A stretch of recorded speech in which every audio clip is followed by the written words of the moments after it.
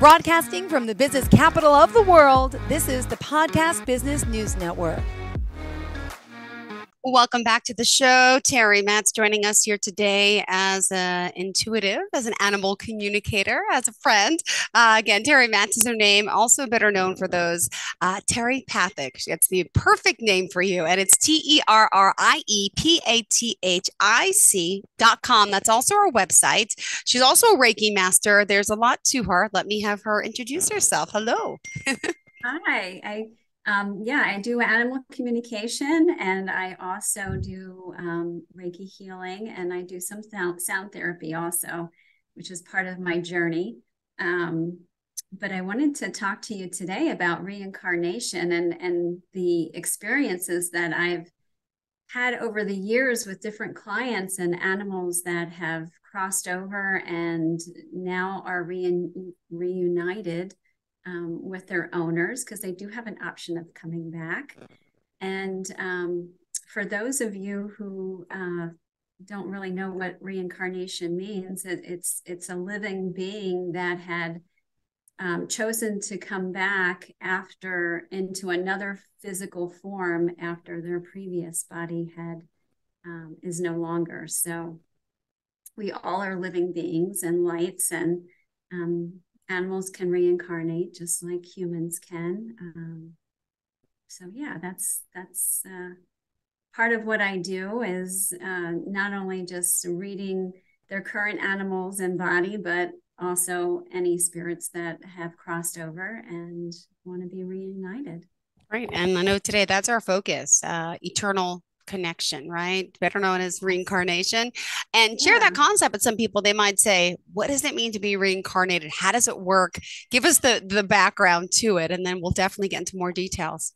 Yeah, for sure. So we all are we'll all we are all living beings and when we cross over into spirit um, we do have the option of of whether or not we come back on earth through contract um, and, and what that means is behind the scenes, our souls will contract with each other for learning purposes to enhance our growth here on earth. And animals play a part in that. So when an animal is drawn to you and you're drawn to the animal, the, the journey that is on earth is just much more than just you're here as my companion. There's there's much more to it than that. And when you can review or even think back to past pets and even past animals that you've had and how they taught you something, whether it's you work all the time and they're nudging you to go out and play with them. Um, they're teaching you to enjoy life at the same time you're working. Um, it could be that you've never experienced unconditional love. So they are here to, no matter what kind of environment they've had to go through, um, they still show love. They don't show any kind of resentment or um, anger towards anything that happened in their life. Um, but when they're here to teach you something and on the soul side have a contract and want to come back to you in your life, they're there for a reason. They're there to help you grow. They're there to learn also on a spiritual level.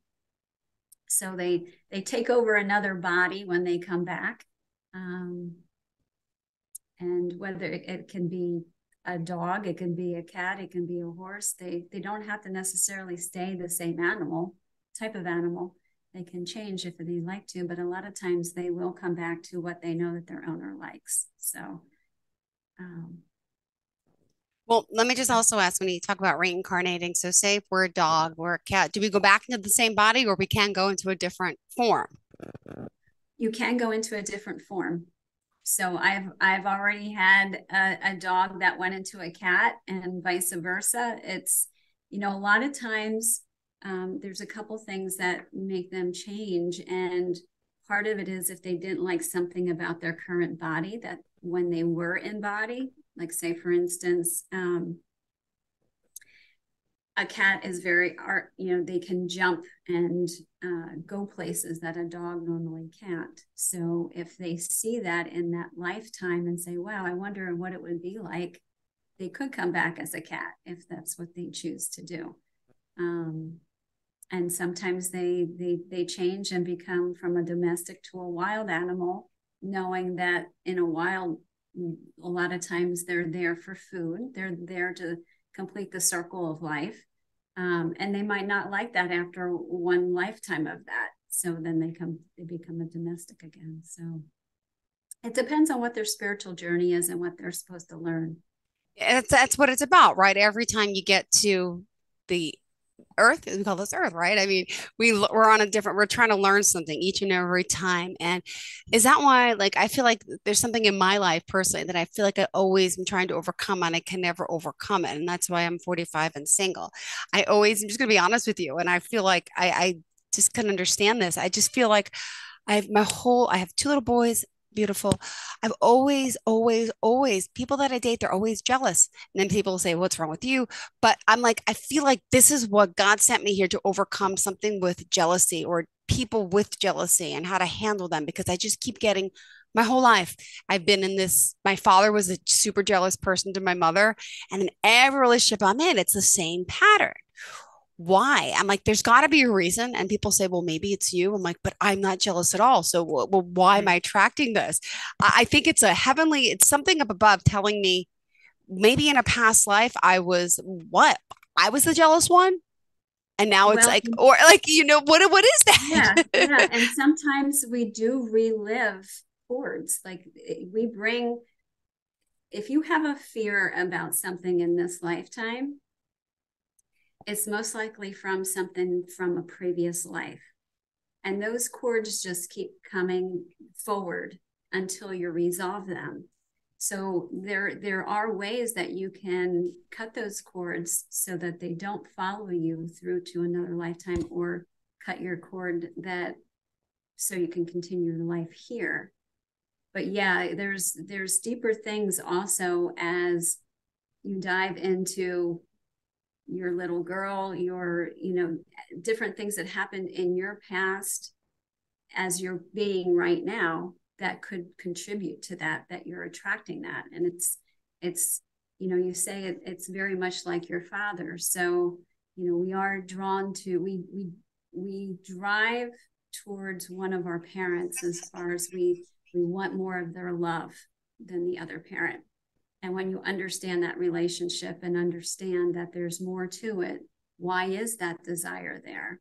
Why do I have that longing?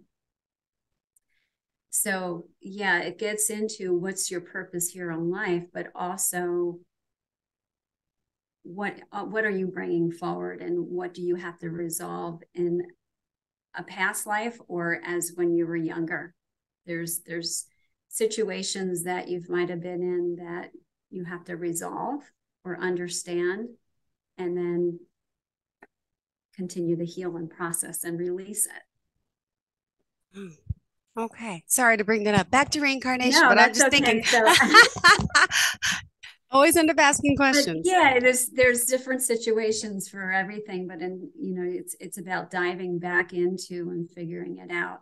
And there are ways to cut cords. Um, as far as you know asking your angels to cut them for you and and any kind of fear like you know we are getting off the subject but just to give you an example um, i never had a fear about going over a bridge but i always had a fear of what would i do if i had to go over the bridge in my car mm-hmm. and that's when i realized that in a past life i actually passed from that like I went over the edge over the edge of a bridge and passed. So when I cut that cord, um, I no longer even think about it. Mm-hmm. it. It's this it's the strangest thing, and then until you experience it, you know it's real. Um, but it's it's very freeing. It's very um, the burden isn't there. It's lifted off of your chest, and um, yeah it's just you, you might want to dive into you might want to dive into that a little bit further so mm, all right i will all right so back to reincarnation what is the okay, next part that right. we're supposed to be talking about sorry but um yeah it's it's it's a it's a spiritual journey so when when an animal reincarnates um they're here to help you uh, get through your spiritual journey also. Um, and what I mean by that is, like for instance, we our German Shepherd. She she reincarnated. She was my um, German Shepherd when I was little, and she came back into my life. And a lot of times, your animal will mirror you, and um, and what I mean by that is, she I have food allergies. She has food allergies. Um, she is so sensitive. I'm an empath, and in animal form, she's an empath. She her feelings get really hurt when she's not accepted if somebody doesn't love her. Um, it's just really amazing. Like the things that she is about was like my childhood. Wow. And that's exactly how I was. I was very sensitive. I felt everybody's pain and happiness. And she's exactly the same way. She's very intuitive, very and keen in everything. Um, but she is helping me, and I'm helping her in learning how to um, continue like with sound therapy. She had she had some um, bone issues that her bones didn't grow in all four joints, and the um, vets didn't think that she would ever be able to really walk again because her limbs were just kind of hanging there with nothing keeping them in. So I researched it, and this is where I mean by they're here to help us grow because I researched and found tuning forks to help bone. You know, I researched all the statistics and 25% growth minimum in humans when used a, a specific hertz wow. or just bone therapy, you know, to, to grow bones and use that on on Kira. And she walks to this day because of it. She's got three of her joints that have grown oh. back, and her one is giving her a little bit of trouble, but um, I'll take three out of four, you know? So, but uh, those are the things that they, even though they're going through a physical form to help us, it's, it's, she's, she's unconditionally giving her body to help me grow in, in what I'm supposed to do for, for animals. Um, and, and I do convert that over to humans too, because a lot of times the, the owners need help as much as the, the animals do. So, um, but yeah, and Daisy, we've talked about Daisy before. She she made me realize that animal communication was the possible. Purpose of, yeah, possible, and and my purpose here on on Earth. So, um, yeah, we're I'm an advocate for animals, and and um, yeah, I just love them to death. So. Oh, and, and, by and the Oh, no, for new listeners and viewers that we we get every week, uh, just good to know a little bit about your background, even though I know. But how did you find out you can communicate with animals? Can you share that story with us? Sure, sure. So, um, Daisy, we had a parrot that um, she got sick. She was in a hospital for 30 days. And every time I would go in the hospital, I would feel everything that she felt, whether it was um, flu like symptoms, a lump in my throat. I just felt awful. And when she had passed, well, when I would visit, that's when I felt that. But when I would leave, I it would no longer be with me. So I thought it was the air quality within the hospital. So when she had passed and I went back in, I didn't feel those things anymore. And that's when I realized that there was something more to um, why was I not feeling this anymore? And there were some other things that had happened. Um, I could feel her presence when she wasn't there. So I contacted another animal communicator and she helped me to understand what was happening, hone in my, my, uh, my senses and my, because they, they communicate with us through all of our senses. So I can feel what they feel, see what they see, hear what they hear. Um, and it's funny because sometimes they, they make you smell meatloaf because they love meatloaf and they they, they correlate different things that they love um, and it's just up to the animal communicator to translate that to the owner Um, but wow. yeah, it's that's where my my journey started, knowing that she was trying to tell me what was going on in the hospital because the vet couldn't figure it out at first. So yeah, I dedicated my life to this because there's other owners where you, all you can do is describe what's going on with your animal and what has changed in their behavior and it's not always a direct okay it's their belly it's their yeah. leg it's their you know whatever it is. And an animal communicator can help with that as far as telling you what they're thinking and feeling. They can't diagnose um, but they can definitely help the vet get more laser focused on getting the diagnosis got it oh my goodness all right by the way uh, remind us how we can reach you terrie um, you can reach me through terriepathic um, dot com, T E R R I E P A T H I C dot com, or terriepathic at gmail dot com. You can email me. And do you do this just with animals, or can you communicate with humans as well? Do people ask oh, you that too, or how does that work? Um, you know, once in a while I do do humans, but I I do stick with the animals. Um, humans do some come sometimes come through, but um, my specialty is definitely through animal communication and, and helping those that uh, are having a health issue or helping uh, owners decide whether or not it's the right time or or what their animal's wishes are, end of life type thing, um, and also rein, uh, reuniting them with their their animals. So, Aww. yeah. So, um, just to give you a, a story on on what um, actually let me let me give you some some signs as to when an animal does pass they might be visiting you even though they're not in your body um, you could see white feathers or you could uh, hear them when they're not there like you might hear a jingle or you might hear them knocking the food and water bowls and you look and there's nothing there um, it's their sign to let you know that they're visiting you. There are certain circumstances too that you might have an event yeah. that only you and them know. Uh, like for instance, uh, I had one that uh, a dog loved to play with balloons, and out of the nowhere, a balloon went past the owner just as a remember a remembrance that hey, I'm still here. Uh, but only the owner would know that if the you know about the balloon. Um, they can come and visit you through other animals. They can they can take over an animal's body for a short period of time just to visit you and then um, go back into spirit.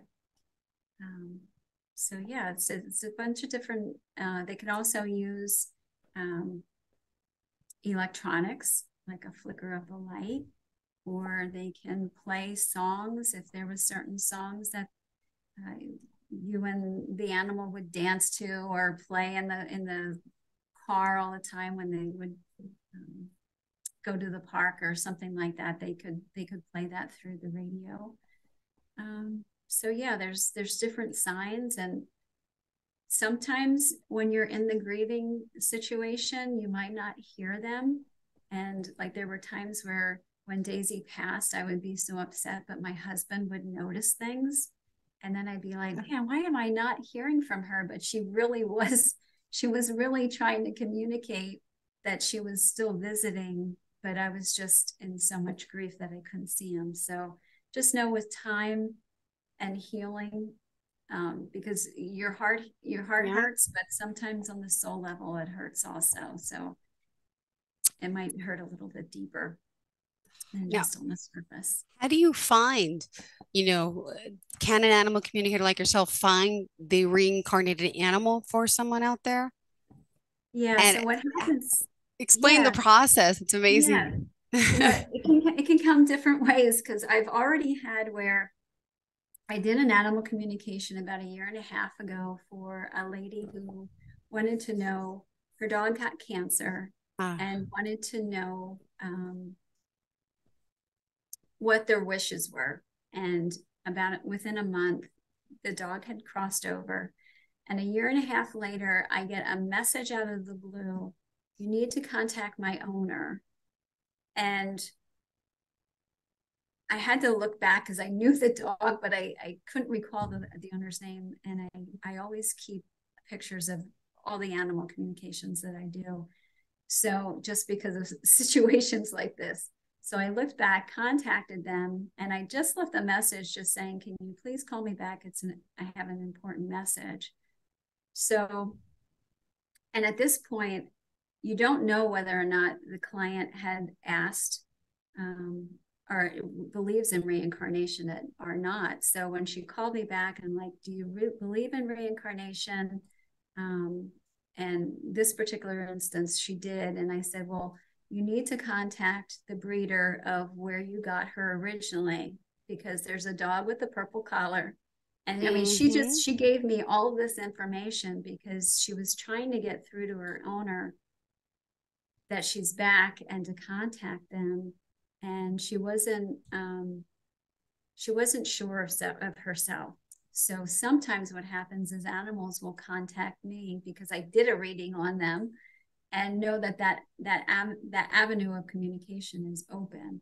So she contacted the breeder and the breeder says you know i heard of your situation what happened with your your other animal and I put one aside with the purple collar, and I was going to call you to let you know I have one for you. So not wow. only was the animal pulling on the str- the heartstrings of her owner, but also the heartstrings of the breeder, and connecting that, and then using me as the conduit of getting the message out. So that's one search situation that has happened, and, then another one um, I got a communication where a dog had passed in July, and so it, it's it's was probably eight eight months later, and she just wanted to find out how she was, and she was able to because sometimes what happens is there's open up there's open questions that you have about yeah.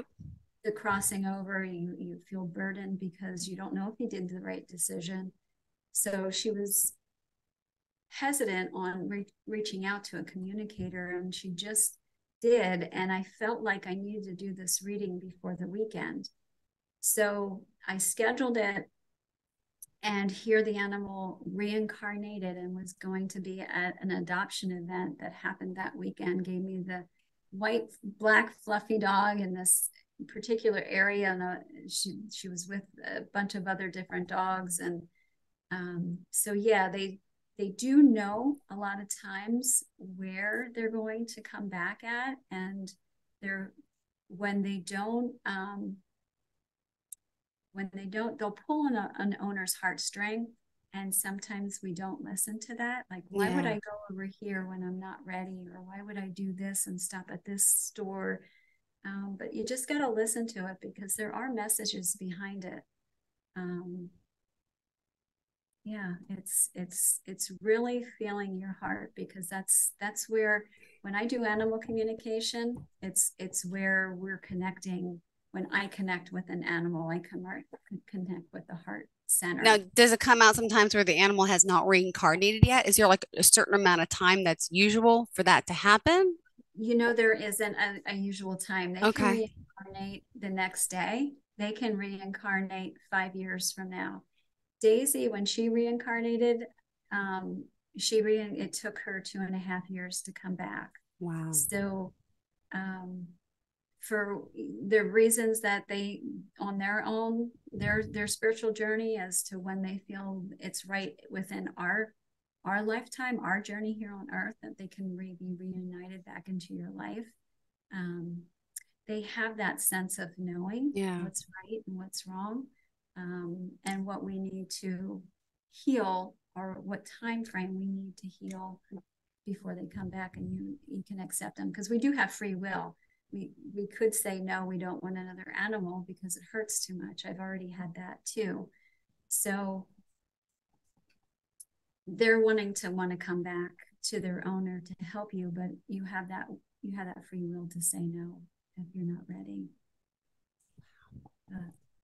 so amazing. Uh, yeah. We're almost out of time. We have uh, two minutes left. Terrie, what else do you okay. want to share about the process and about people that you work with and how you connect. I mean, do, does it ever bombard you or did like eh, I don't know if you're out at the store, do people walk past you? Do you feel you sense them or their animals or like how you know when i'm a, when i'm out and about i actually change my vibration because i there's an etiquette and a and a um, privacy that you know what happens in your home happens in your home and if if i've reached out even even if you see animals that are abused um, I don't key into them to make sure that they're okay. I will allow the authorities to do that. Um, there's just an invasion that can happen um, that I just don't believe is is the right thing to do. So I'll change my my unless I'm out in a like a preserve and I'm in the wild. I will connect to out to the wild animals, and a lot of times, you know, turtles will come up in in front of me or I had a, actually a coyote um, at my front door that was in a fight. He was, had a bloody um, ear and stuff, and just laid at my front door. And I gave him Reiki because you can do distant Reiki through the door. So I sat there with him for a half an hour. He just stayed there, and I, I just said, you know, you'll be okay. And, um, he just then he he slept a little bit and then left. It was pretty incredible. Um, but yeah, wild, wild animals know when you're in tune. So a lot of times they'll come and they'll pat, they'll cross your path. And I'll I'll stay in that kind of vibration. But when I go out to the store, I go to the to a park or something like that, I I I'll, I respect their privacy. So I kind of tune it off. And I have to just for my energy too. I, I would be drained all the time. So I, I do practices, not only what I tell other people to do, but I do them myself. So um, you have to ground, you have to uh, make sure your cup is full before uh, you fill others. So um, it's just like the that saying with the airplane and the the mask comes down. Put your mask on first, and then help others. So it's it's important for everyone to to do that. Mm-hmm. Yeah. Well, sure thank you so much. Well, Terrie, how can we reach you if we want to uh, have a consultation or work with you? Sure. Uh, terriepathic.com, T E R R I E P A T H I C.com, uh, or uh, terriepathic at gmail.com. Perfect. Thank you so much. Pleasure having you here again and looking forward to the next time we connect physically, mentally, virtually, all the above, telepathically, right? right. Energy. Thank you so much, sweetheart. Have a fantastic day. And all of our listeners, stay tuned. We'll be right back with more. Are you looking for even more of the podcasts and hosts that you love? The Podcast Business News Network is proud to announce that you now have even more ways to listen live. Check out the MyTuner Radio, online radio box, and Simple Radio apps on iOS and Android, or find us online. Search for Business News Network on mytuner-radio.com or search Podcast Business News Network on streema.com and onlineradiobox.com slash US. Take your podcast on the go and don't miss a minute of the action.